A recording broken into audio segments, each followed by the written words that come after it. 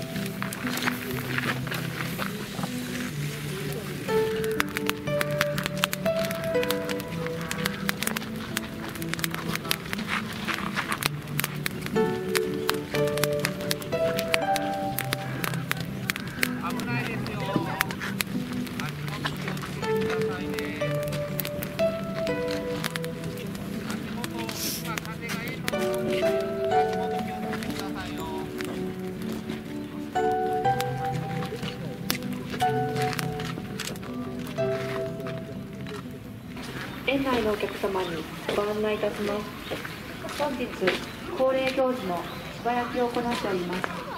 終了は午後3時の予定です。黄金色の芝が漆黒に変わるこの日だけの行楽園の景色をどうぞお楽しみください。